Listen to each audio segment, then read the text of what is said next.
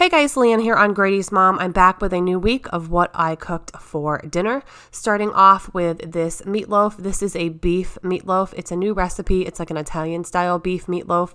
I'll try and find the link that I used and leave it down below. I used, um, I also made some mashed potatoes and some Haricot green beans. I did use an immersion blender with the potatoes, which made them really fluffy.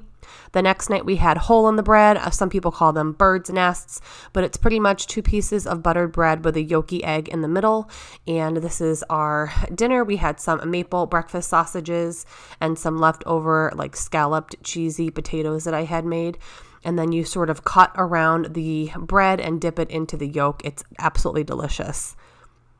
The next night, I am making one of my favorite soups, if not my favorite soup. I've made this recipe for 20 years, literally, and it, you can use any variation of what you have to use up. So I've got some cooked Jimmy Dean pork sausage, some beans that are drained. I've got pep- bell peppers, celery, carrot, onion. I added an eight ounce can of tomato sauce. I have a crock pot liner, as you can see here. I'm also going to add about three quarters of a carton of chicken broth. Uh, you can use beef broth as well if you don't have chicken broth, but I do like it a little bit better with the chicken. But the key I find for this soup are the actual seasonings. I do variate them a little bit each time. I just try to use what I need to use up, but I always put in bay leaves, oregano, red pepper flake for some heat, some garlic powder, and then this time I had some fresh rosemary to use up, so I chopped up some sprigs of that. The key though is those bay leaves. So you mix everything together really, really well. You want to make sure you mix twice. So once before the seasonings go in and once after. And then you go ahead and put it on low for about four to five hours. Uh, you probably could do it on high, but I recommend it on low. And then the last half hour, I added a very small amount of this orzo and it just cooks. I also crank the heat up to high the last half hour to make sure the orzo cooks really well. So my husband and I each had a nice big bowl of this soup and I did go ahead and put some shredded Parmesan Romano cheese on top and it was the perfect dinner for a cool night. The next night, I made a small, like half size 9 by 13 I think this is like an 8 by 8 green bean casserole. Just your traditional green beans, cream of mushroom soup, a little bit of half and half for moisture, the French's onions on top. I'm using the Trader Joe's brand. And I did add some baby Bella mushrooms, fresh chopped up in there. On the side, or as the main event um, to go along with the green bean casserole, I had some sweet Italian sausage that I had thawed out. So I just cut each link into thirds because they're large links. And then I had a yellow and a red sweet bell pepper to use up. So I went ahead and sliced them up. I also sliced up um, a little onion as well. And I find that just trying to slice them the same size helps them just to cook really evenly. And I absolutely love the combination of sausage, peppers, and onions. It's one of my favorite combinations, flavor combinations. I like it with rice, on bread, on a sandwich. Uh, plain, it's just so good. I also like it tossed into pasta. I find the combination of sausage, peppers, and onions can make a lot of different variations of other things.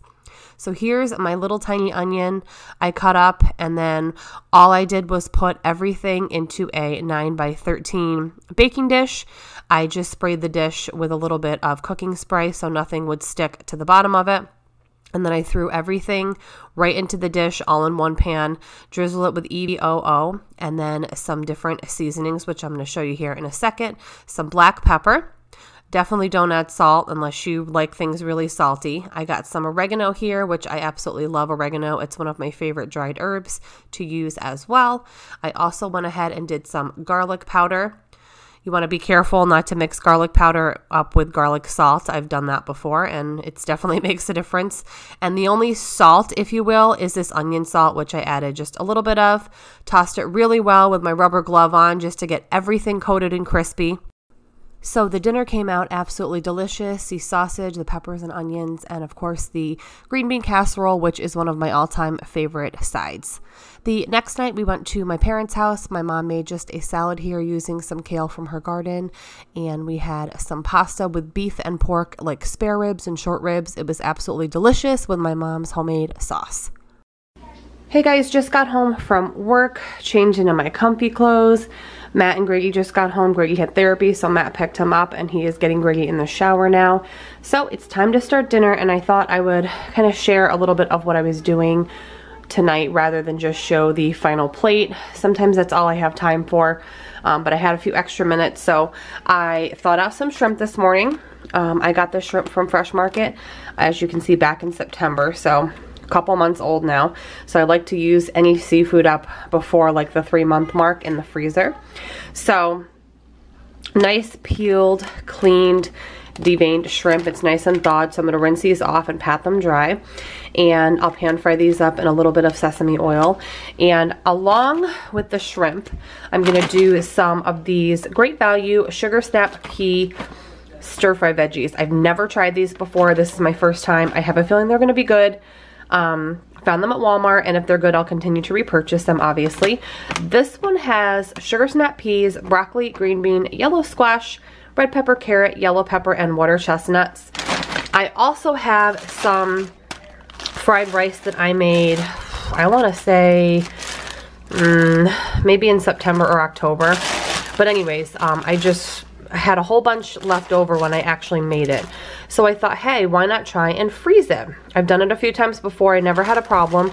It's already like seasoned. It was like a complete cooked fried rice that I, that I just froze because I had so much left over. So I pulled this out of the freezer just now. I'm going to thaw it out a little bit.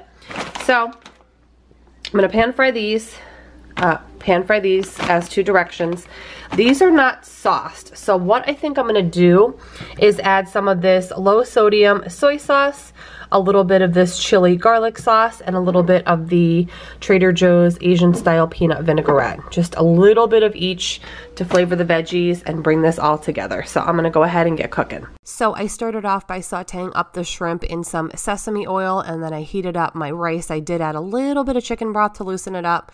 I cooked the shrimp about three-fourths of the way, removed them from the heat, and then I sauteed the veggies in the same pot as I let the rice continue to cook. Then I added the shrimp back in with the veggies to warm it through and finish cooking and it came out delicious. All right, so here is how it came out. I did taste the rice. It actually tastes just fine. I've done this a couple times and of course fresh you know, cooked rice that you just made is always gonna be best. But for being frozen, it's pretty good. Um, the veggies are good as well. They definitely needed some help flavor wise. So a little bit of the low sodium soy sauce, some black pepper, a tiny little bit of that garlic chili sauce. I did not add any of the peanut vinaigrette. I just didn't think it went. And the shrimp tastes delicious. I just cooked it like three quarters of the way, removed it from the pan, and then added it back in to heat it through when the veggies were done.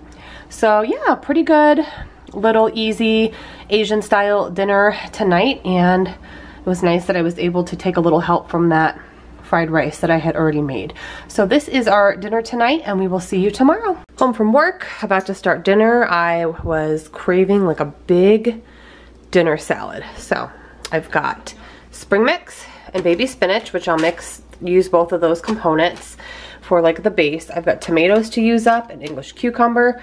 I, this feels really ripe, so I don't know if I'll be able to use that avocado, but if it's salvageable, then I'll use what I can from that.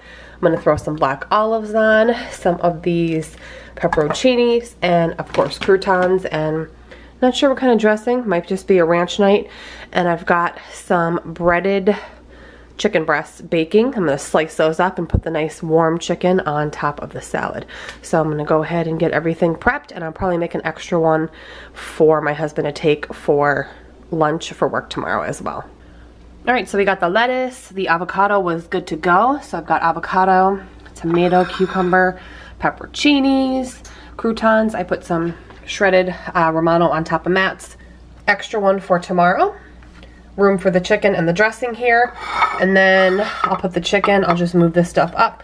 Put the chicken here, chicken here, drizzle it all with dressing, and we're good to go. By the way, I could legit eat a whole bag of these croutons can anybody else relate? Because I could eat an entire bag like a bag of chips. They're so good. So waiting on the chicken, gonna slice it up, add the nice warm chicken to the plate, dressing, probably some ranch tonight, kind of in a ranch mood. But of course, I'll show you everything before we dig in.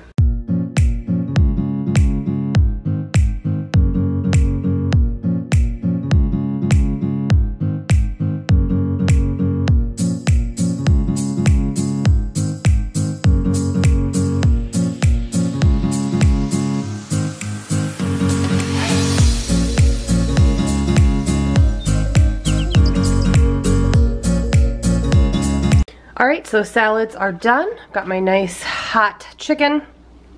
I actually had a little bit of crusty bread, so I threw that in the oven with the chicken the last few minutes to crisp it up with some melted butter on the inside. And there is mine, Matt's. I have one nice piece for the lunch salad tomorrow for my husband. I'm gonna go ahead and drizzle some ranch on these and dig in. I hope you guys enjoyed this week's dinner video. Thank you so much for watching. I've got a whole playlist of these videos linked down below in the description box in case you are looking for more dinner ideas. And I will see you all in my next one.